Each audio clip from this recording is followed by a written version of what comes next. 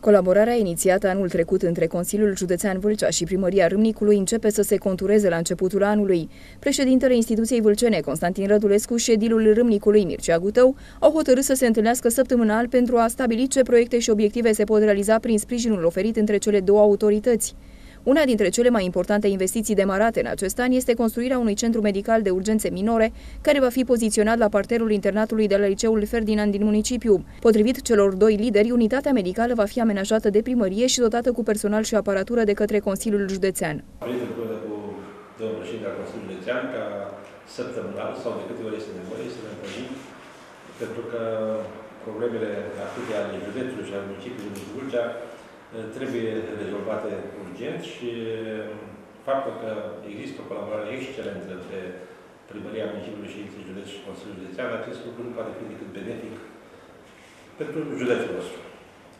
Primul punct pe care l-am abordat a fost acela că uh, vom face un uh, centru de excelență, un centru de permanență în cartierul Slovenia, în colaborare cu Consiliul Județean, Ehm, domnul președinte al Consiliului Județean se va ocupa efectiv de colaborarea cu instituțiilor, instituții subordonate pentru tot ce este tehnică acolo. Eu, ca primar al municipiului, mă voi ocupa de amenajarea spațiului. Dar tot, toate aceste lucruri le vom face numai după o consultare prealabilă cu factorii decizii.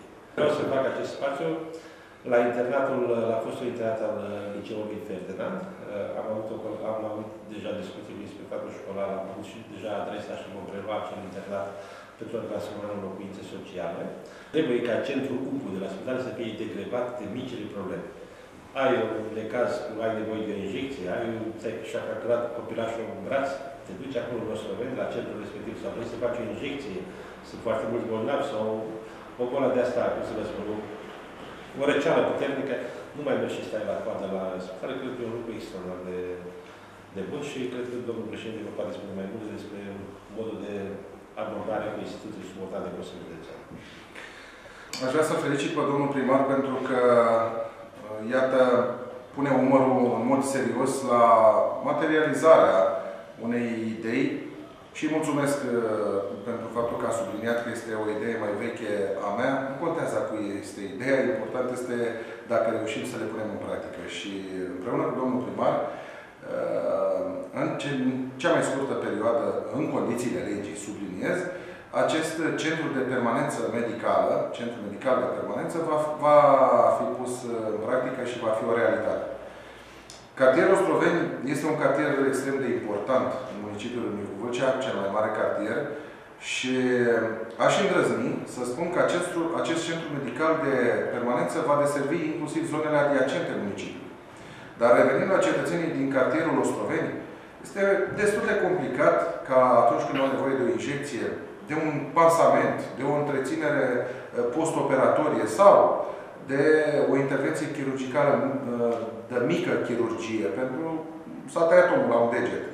Sau să facă un tratament la copil, la uh, un bătrân, să meargă la Spitalul Județean Vâlcea. Și atunci trebuie să uh, ducem actul medical mai aproape de oameni și uh, instituțional, iată, Primăria și Consiliul Județean, uh, pun în practică și materializează acest centru medical de permanență în cartierul Ostroveni. Actul medical trebuie dus mai aproape de oameni. Vom, uh, eu mă voi uh, ocupa, să zic așa, pentru că am o experiență în acest domeniu uh, medical, mă voi ocupa să invit în condițiile legii toate instituțiile care avizează, care coordonează și care trebuie să se implice Eh, până la urmă ca acest centru medical de permanență să fie funcțional. Și vorbim aici de Direcție de Sănătate Publică, vorbim aici de Colegiul Medicilor de Familie, vorbim aici de toate autoritățile medicale. În Râmnicu Vâlcea funcționează în prezent doar o unitate de primiri urgențe la Spitalul Județean.